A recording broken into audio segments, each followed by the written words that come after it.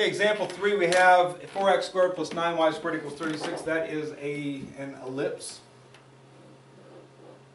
And x squared minus y squared equals twenty-five, that's a hyperbola.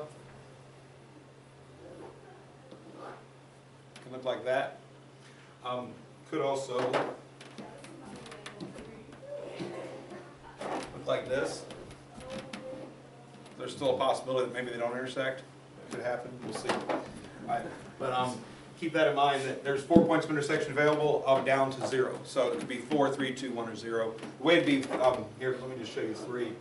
If it does this and this, there's three. Um, if it happens to do like that, there's two. If that one there is a little bit further over, now it's one. So I mean, you can have four, three, two, one, or zero, but uh, the maximum number of solutions is four. Um, looking at it, elimination looks pretty easy. Multiply the bottom equation by nine.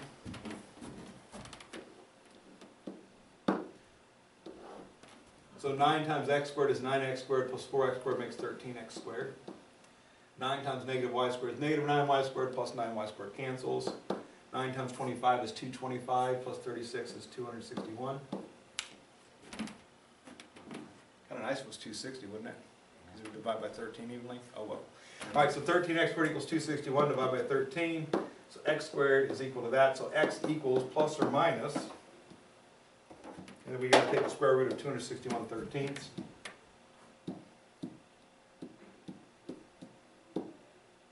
Comes out to 4.4807.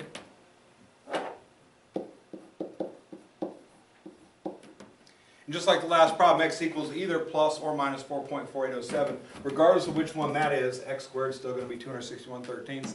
So whether I'm testing x equals positive 4.4807 or x equals negative 4.4807, x squared is equal to 261 thirteenths. I'm going to go to the bottom equation, x squared minus y squared equals 25. So 261 thirteenths minus y squared is equal to 25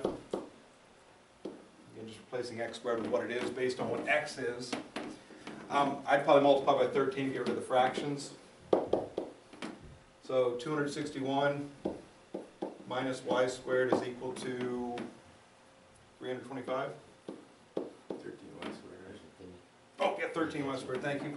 I was so worried about multiplying twenty-five times thirteen, I forgot about that. All right. Thirteen times everything. Um, I'm gonna move the thirteen y squared over to the right, I like my y squared positive, I'm gonna move three twenty-five to the left. Uh, two sixty-one minus three twenty-five is what we get out of that, which makes a negative sixty-four.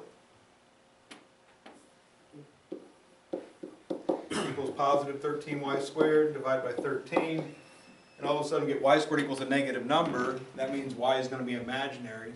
We don't want imaginary answers on these problems, we want real answers. So, once we get to an imaginary situation, nonlinear system equation, that just simply means it's not gonna intersect. So, this is an empty set answer, there are no solutions.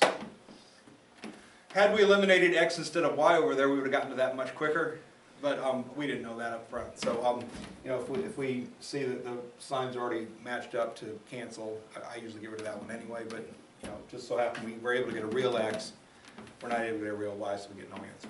If, if we had hit, if we canceled x squared here and gotten y squared equals negative, whatever, at that point, we can immediately say, doesn't work, right then, we don't have to go through all this stuff.